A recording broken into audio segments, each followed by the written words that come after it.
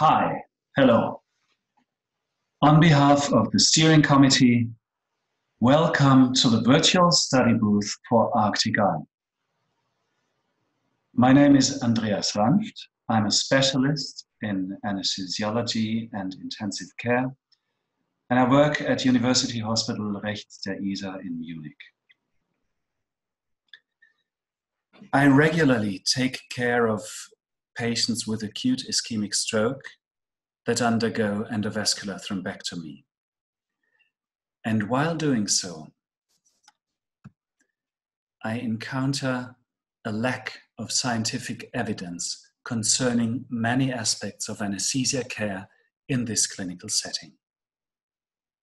What is best for the penumbra? What's the right anesthetic approach? Which substances should we use? How exactly to manage oxygenation, ventilation, and hemodynamics before and after reperfusion? The fact that you are watching this video might indicate that you'd like to contribute to the clarification of these issues, just like myself and the community of ARCTIC-I researchers. So let me briefly summarize some important information about ARCTIC-I. Every hospital where anesthetists routinely support endovascular thrombectomy for acute ischemic stroke can participate in ARCTIC-I, regardless of the frequency of thrombectomies and regardless of local standards.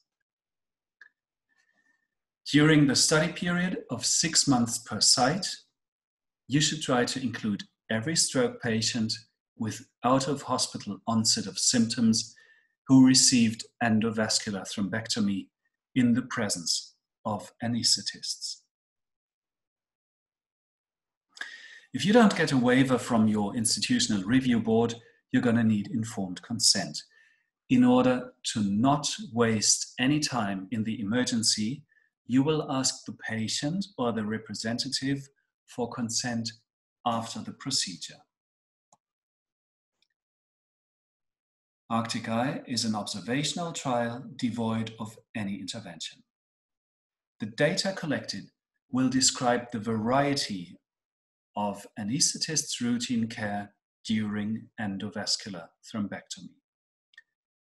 Ultimately, we will seek factors of anesthetic care that, is, that are independently associated with a good or bad patient outcome. Primary endpoint is the patient's functional status three months after the stroke. It's described by the well-established modified Rankin scale. You will assess it on the phone using a standardized interview which takes less than five minutes. So, two or three times a week, you scan the angiography procedure list for thrombectomies. If you find patients matching inclusion criteria, you visit them to get informed consent. Then you fill in the data collection form displayed on the next slide. You're going to record information from the patient file, from the intervention report, and the anesthesia record. Three months later, you will call the patient for assessment of functional status. I suggest you check your local numbers of thrombectomies to estimate the expected effort. Talking about work, let's also talk about reward. The study protocol contains detailed rules how site activity translates into authorship. Yeah, inevitable question.